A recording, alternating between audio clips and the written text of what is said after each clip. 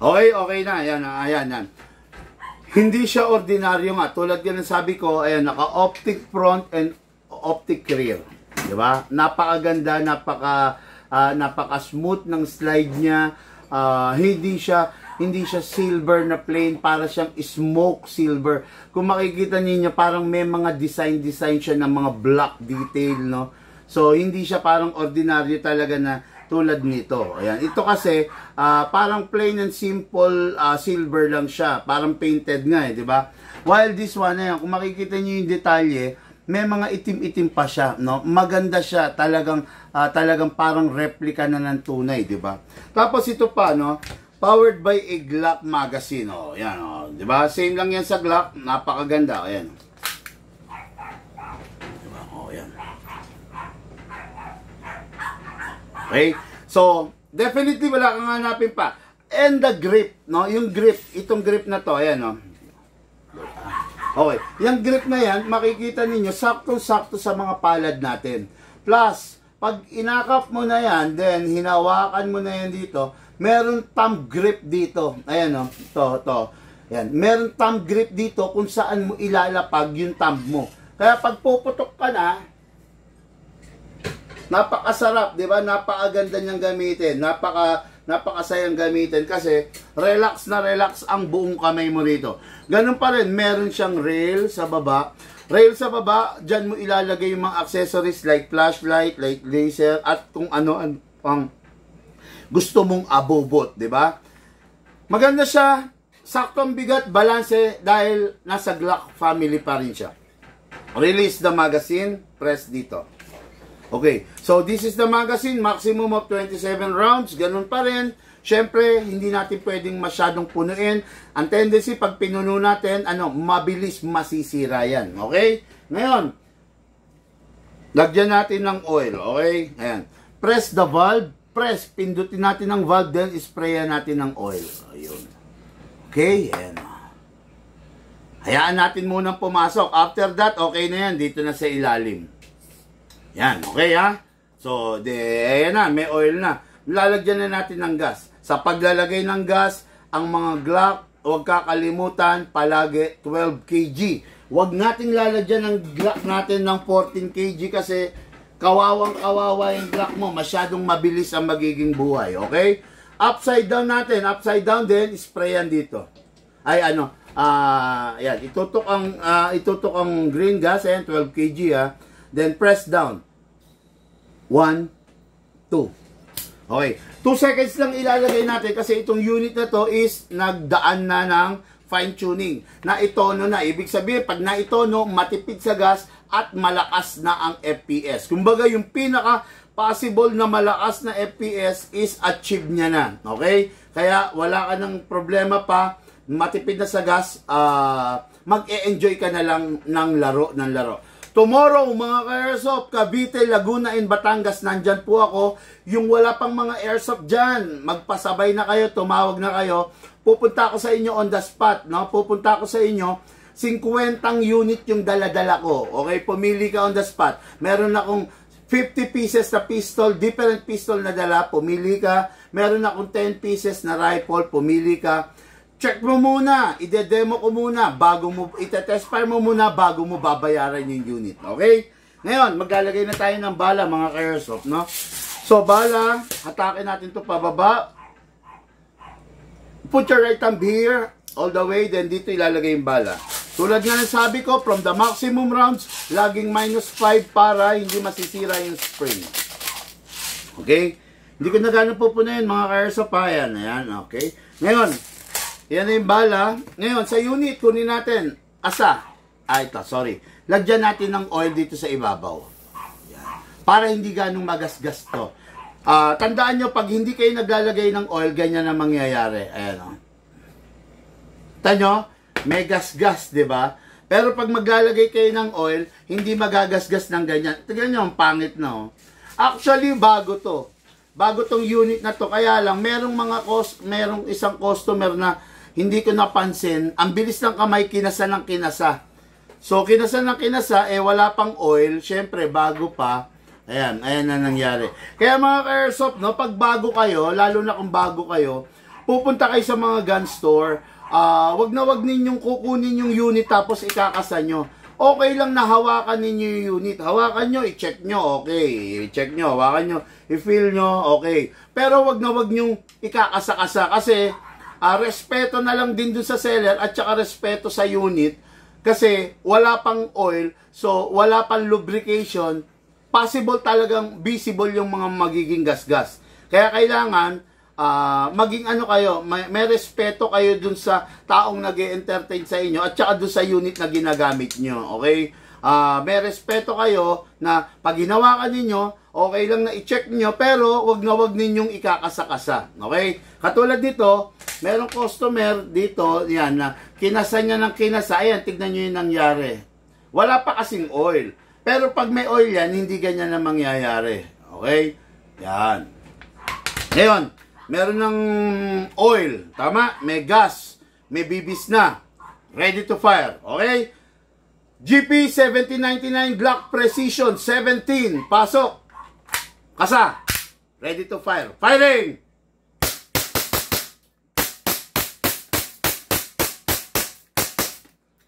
Open bolt kasi wala ng bala. Next thing to do, release the magazine, then release the slide, then rest the hammer by pressing the trigger. Okay, ang unit na to, birthday gift ng ating ka-airsoft, Madam Edralin. Birthday gift para sa kanya, Mr. Sir Mateo.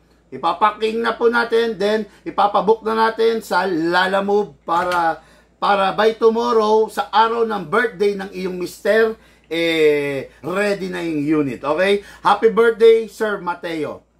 Okay, so pag wala pag tapos ka na, make sure walang lamang bala at pag itatabi mo na, make sure walang lamang hangin to. Press mo lang to. Daming laman, di ba? Kasi naka-tuning to, no? Naka-tuning, pag naka-tuning, matipid sa hangin. Okay, next unit natin.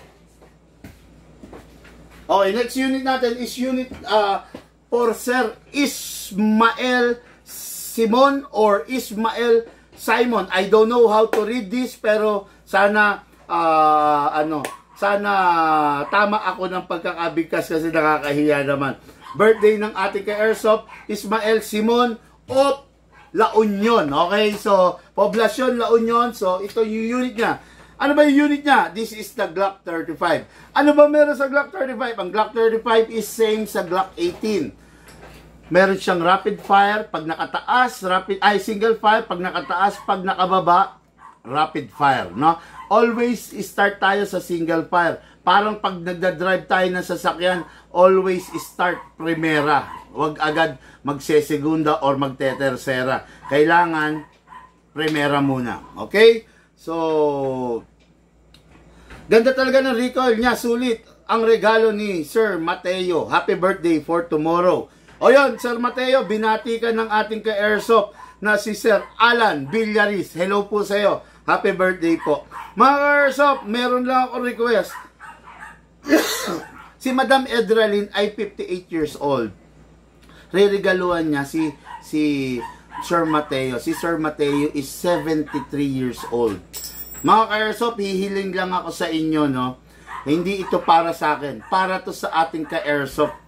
Uh, alam nyo naman kasi, napakasarap, no? Uh, especially si Sir medyo may, uh, hindi natin maikakaila, matanda na, no? Tapos, ang sarap pag may bumabati, di ba? Mga ka-airsoft, sa ating mga viewers for today, nakikiusap lang po ako, baka pwede, kung hindi naman napakalaking abala sa inyo, uh, please batiin natin ng sabay-sabay ang ating ka-airsoft na si Sir Mateo at saka si Sir Ismael Simon. Birthday nila tomorrow ng happy birthday. Tulungan nyo ako.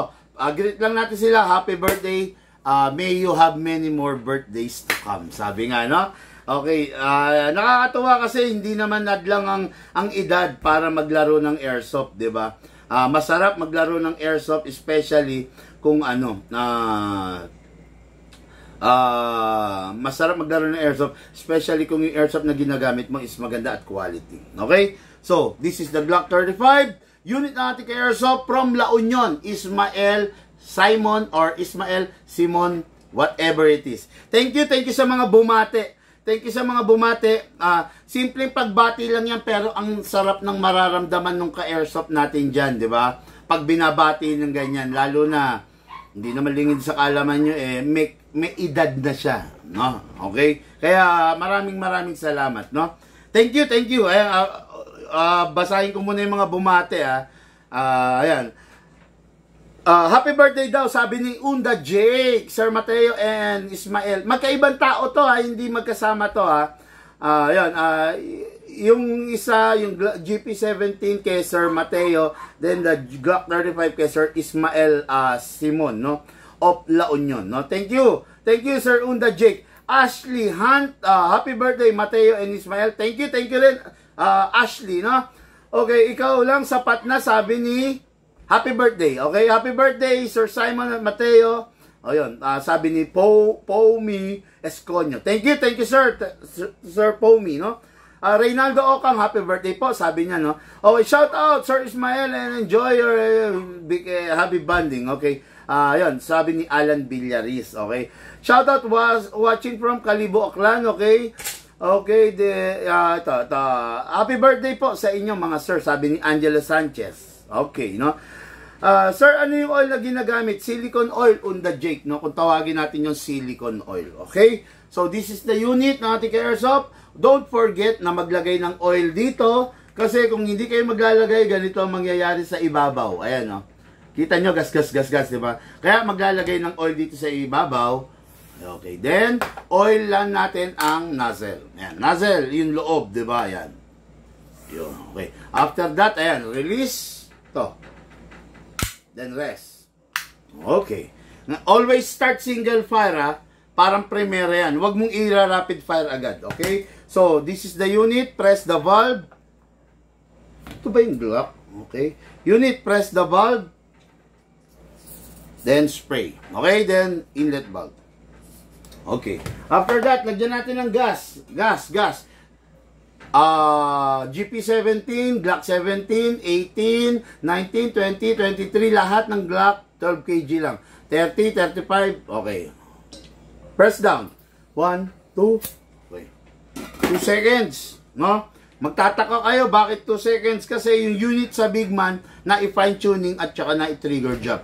Kaya hindi natin kailangan na masyado maraming oil, ah, gas para i-fire to, no? Ah, unlike sa unit sa na nabibili sa iba, hindi na i-tuning yun, hindi na i-trigger job yun. Kaya malakas sila sa oil, ay sa ano, sa gas, no? Kaya ito napakatipid nito. Okay? May pahabol pa, Norberto Nunez. Happy birthday mga bro. Ismael and Mateo. God bless you both. Oh, nakakatawa, no? Okay. Maraming maraming salamat sa mga nag-comply, sa mga bumati sa ating mga airsoft. Kahit kayo rin, pag magbe-birthday kayo, uh, i-message nyo kami para mabe- mababati namin kayo. Okay? Hatakin natin to pababa mga airsoft. Okay, then put your right thumb here. Then all the way dito ilalagay yung bala. Okay? Pump lang po tayo. Okay, today is 20, anong date ngayon? June 28. Grabe. June 28 ngayon, magka-cut off na. So, anong dapat nyo gawin? I-share nyo yung live video natin para manalo kayo ng ah, Big Man Special Edition Tactical Ball Pen, then Big Man Special Edition Tactical Knife, at saka Big Man Sticker, no? Mag-share kayo, i-share nyo, ayan, may arrow button, no, ayun, di ba, sa baba. I-share nyo tong live na to para manalo kayo nitong mga to, no? Ayan, mananalo kayo nitong tatlo na to. Ah, sagot ko yung shipping, ibibigay ko lang sa inyo. Pag nanalo kayong top sharer at saka top fan, top follower. Um, gawin na ninyo yan kesa mahuli ang lahat, no? May rapid fire pala to, dagdagan natin yung bala para ma-fill natin. Okay. Dagdagan din natin konti yung hangin kasi may rapid fire pala. Nilagyan ko 2 seconds lang. Lagyan pa natin ng 1 seconds para hindi tayo mabitin. 1. Okay? Ngayon mga airsoft, magpa-fire na tayo, no? This is the Glock 35. Uli, uli, ulitin natin. Glock 35, equipped with single fire and rapid fire. Pasok ang magazine. Kasa. Ready to fire. Single fire. Very stable. Rapid fire. Balik natin single fire. Open bolt kasi wala nang bala. Next thing to do, release the magazine, release the slide, press the hammer by pressing the trigger, ibalik sa single fire. Okay. Unit natin kay Airsoft, our birthday celebrate by tomorrow, Sir Ismael Simon. Okay, yung isang unit na dinemo natin a while ago is kay Sir Mateo, ah, asawa ni Sir ani Madam Edralin. Ah, okay. Okay mga Airsoft, maraming maraming salamat sa inyo. Sa mga nag-share na live video, gusto ko manalo kayo ng ano, ng ay, sandali. Tapusin ko lang pala muna to. Uh, make sure wala lamang bala bago itabi yung magazine and unit. Then make sure na pasingawin kung matagal hindi gagamitin. Press nyo lang to. Ang daming laman nito. Diba? Okay, so unit natin kay Airsoft for Lala Move na to. Going La Union to, ha? Ang layo, ha? Going La Union, no? Okay, Lucas. Ito yung box nyo. Okay. So, ayun, mga Airsoft, gusto ko lahat manalo. Sana kayo, no?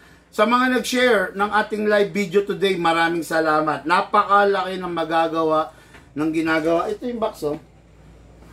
Napakalaking ginagawa nung ginagawa niyong pag-share, yung pagko-cooperate niyo sa ating mga live, no? Uh, simpleng bagay lang pero ang laki ng kapalit niyan. Ano? Matututo, uh, maitutuwid natin yung maling pamamaraan ng ating mga ka-airsoft sa paglalaro ng airsoft. Matututo sila ng maayos uh, ayaw mo ba yon naging kasangkapan ka para yung kaibigan mo, yung best friend mo, yung kapitbahay mo, yung friend mo, yung yung yung kamag-anak mo, yung pinsan mo, yung chewin mo, uh, nakapanood ng ating live. Natuto siya at nung bumili siya ng airsoft, hindi siya basta napahamak. Napakalaking bagay nun, di ba? Kaya maraming maraming salamat po sa inyong lahat. Maraming maraming salamat po sa nanonood ng ating live, na, live video pahabol for today. Mamaya po, nandyan ako sa lugar ng Porac, San Fernando, and Angeles, Pampanga. Wala ka pang airsoft, tumawag ka na, magpasabay ka na, nandyan ako mamaya. Tapos tomorrow, Cavite, Laguna, and Batangas, nandyan din po ako. Pwede po kayo magpasabay by tomorrow, okay? Mga airsoft, maraming maraming salamat po sa inyong lahat. Sa mga taong naniniwala sa Big Man appear lang tayo dyan. Sa hindi naman, wala akong pakialam. Okay? Mga airsoft, lahat po tayo nagmula sa iba't ibang larangan. Pinagbuklod, pinag-isa, ng iisang libangan. Yun po ang paglalaro ng airsoft. Hatid po sa inyo ng inyong lingkod. Big man. Thank you po and have a blessed day to all.